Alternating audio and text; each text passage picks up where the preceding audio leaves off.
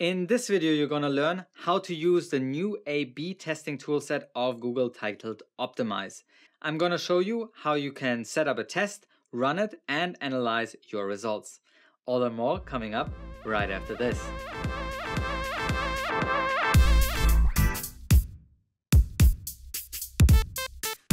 There and welcome to another video of MeasureSchool.com where we teach you the data-driven way of digital marketing.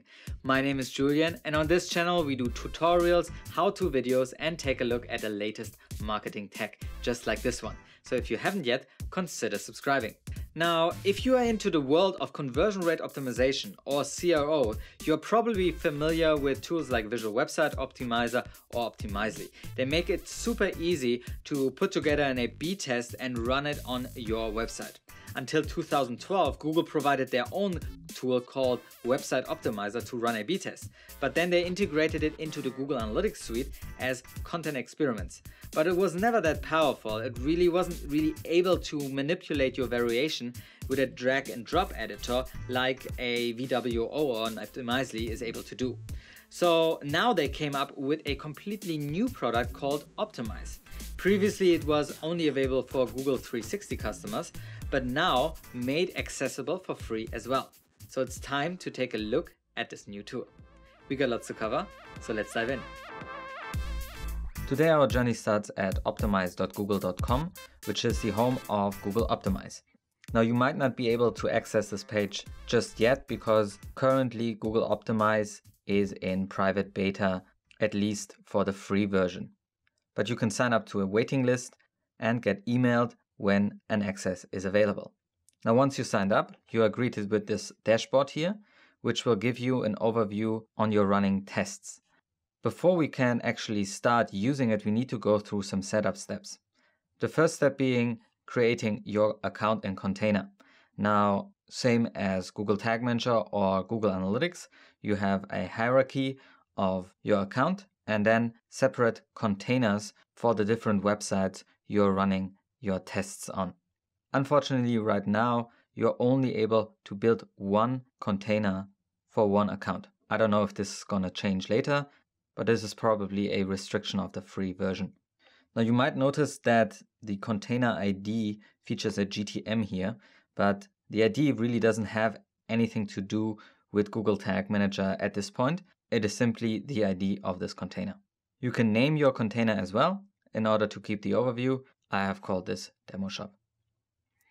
Now, once this is done, you need to link up your Google Analytics account. That means you need to have Google Analytics installed on your web page and your Google account needs to have access to this Google Analytics property. Then you can link it up by choosing your account and the view. Next step is implementing the optimize snippet. Now the snippet consists of two parts. One part is the actual requirement of the optimize plugin. And yes, it's a Google Analytics plugin that needs to be loaded with your current Google Analytics code that is installed on your website. And there is a page hiding snippet. Let's talk about this plugin snippet first. If you have Google Analytics hard coded on your website, you simply need to add this line to your Google Analytics code on your website. You can also do this through Google Tag Manager. Let's try this out really quickly.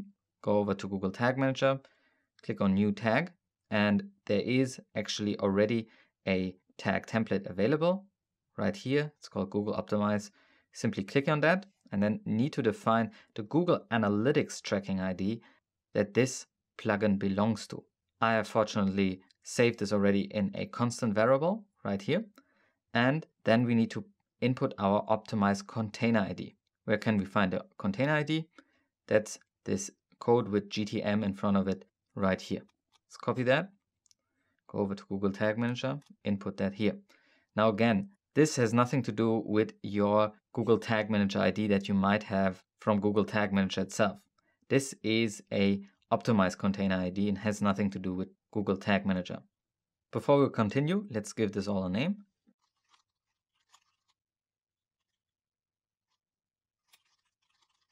And choose our trigger. Now you can use the all pages trigger or define a more narrow trigger to only fire this on the pages you actually run an A-B test on. But this doesn't generate any overhead, so I'll just go with all pages here. Save this. Let's go into our preview and debug mode. See on our page. And again, we already have Google Analytics running. Now our optimize tag has been added as well. So this seems to work. Let's go over to Google Tag Manager and publish this as a version.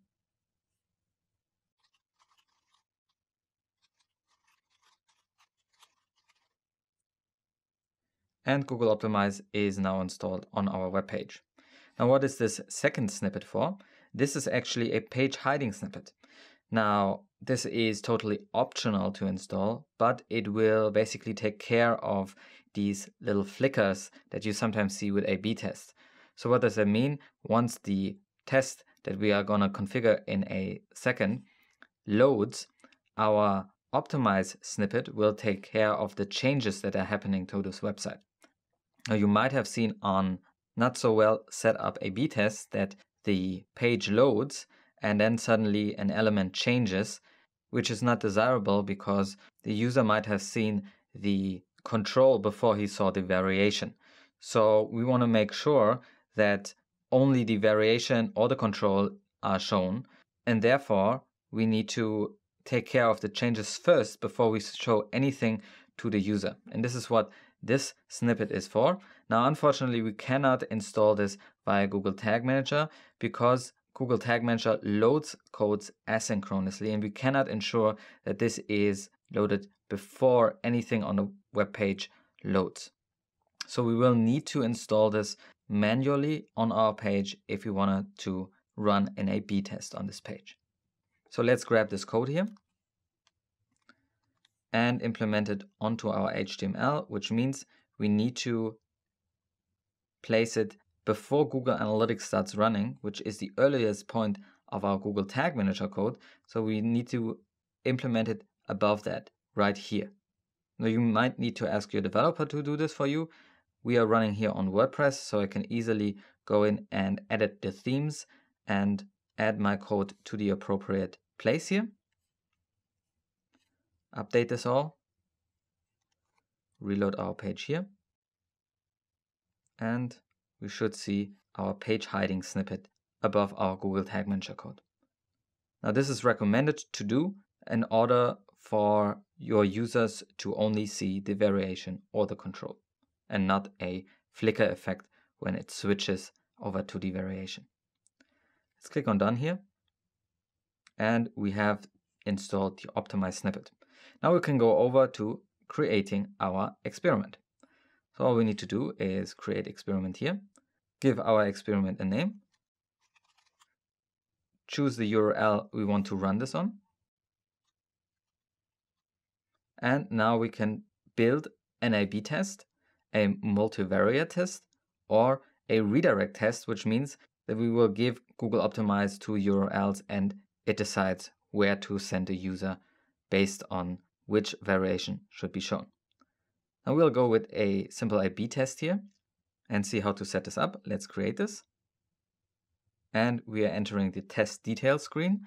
Now on this screen, we can set up a new variation. Let's do this by clicking here, new variation give it a name,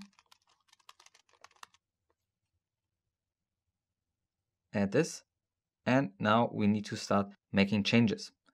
How do we do this? We'll simply go to editor here, save our last changes, and in order to do this, we actually need to install a Chrome extension. So you need to be running on Chrome in order to do this actually. Let's click on this Chrome extension and install this to our browser and it will give us this little new tool which is the optimize extension. What will this do? Well, we can go back to our page here. Let's actually leave our preview and debug mode first.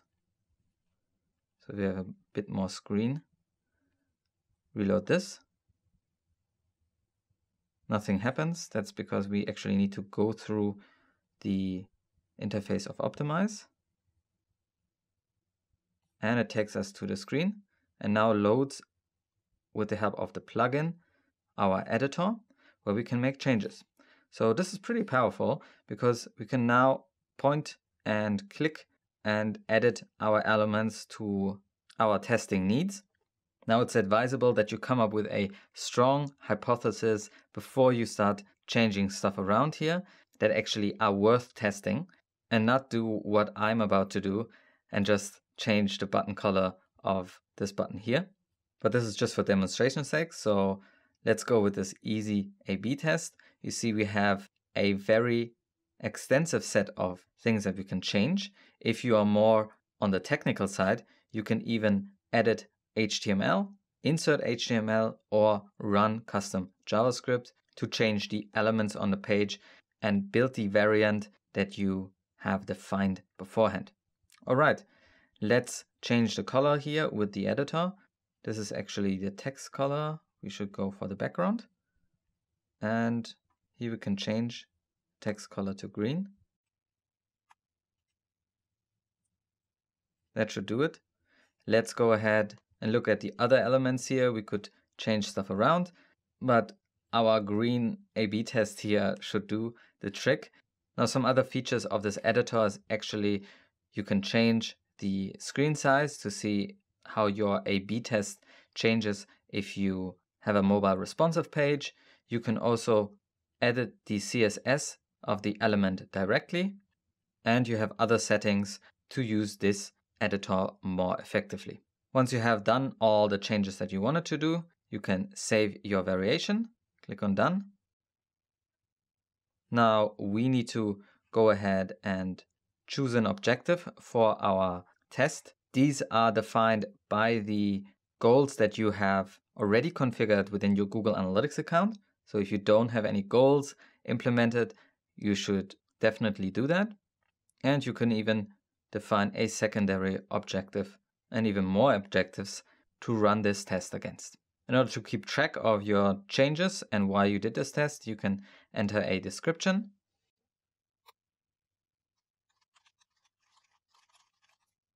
Or your hypothesis and save this all. And you're ready to start your experiment. Now your experiment is running and is generating data. What does that actually mean? So let's go back to our page, reload this page. We get shown one or the other variation. So in this case, it's our variation and not our control. Once we reload this page, we actually always get shown our variation. Why is that? Because Google Optimize actually builds a cookie into our browser. We can check this in our developer tools by going into the application tab, you can look at our cookies that were set on our demo shop here, and we see a new cookie called GA experiment, which tells Google Optimize which variation should be shown. It also connects us to the client ID that we see here in our GA cookie, and this ensures that the user always sees the variation that he has seen first. So it doesn't skew the results once the website is reloaded or the user navigates away and comes back. So just to demonstrate this here, let's get rid of these cookies and reload our page. We still get the green button here. Let's do this again. And again. And this time we see we are getting our normal button here, our control version. That means that the A-B test is already running correctly and data should now be generated within our Optimize account. So once we go over to reporting here, we should have data coming in. This can take a while, so right now we don't see anything here. Let's go over to a test that I have already run. This is our button test here, and we have a 50-50 split between the users who see the original and our green button version. We have a sign up goal that is running on our website and we have some data that is already reporting. So it, this was tested on 323 sessions, has been running for six days. So obviously it's not a very great sample size. Google Optimize then tells us how much better the variation is performing, in this case minus 60% right now, against our conversion goal that we have defined. And you can see this familiar chart where we can look at the probability that our variation will beat our original version. Down here, a, another chart. Now, obviously, this is also connected to Google Analytics. So we can always view these numbers in Google Analytics itself. Once we click here, it opens up a special report where we see our button tests and we can segment with our custom segments here. And also we see our original and green button. This is kind of like the report that we have seen for the Google content experiments already. It gives us a bit more variety to play with the data and actually look into other goals that this might be running against in order to slice and dice the data even more and see whether our data is performing well or not. But all in all, you can see that Google Optimize works really well with Google Tag Manager and Google Analytics together and is therefore a very affordable and cool little addition to the Analytics suite that lets us run a-B tests or multivariate tests really easily on our website through this point and click editor. So there you have it. This is how you can set up an A-B test with the help of Google Optimize. Pretty sweet, huh? Now I'd love to hear from you. What are your experiences with Google Optimize? Or do you prefer Optimizely or Visual Website Optimizer? I'm looking forward to hearing from you in the comments below. And as always, if you like this video, please share it with your friend or colleague and subscribe to our channel to get more of these videos every Wednesday. My name is Julian. Till next time.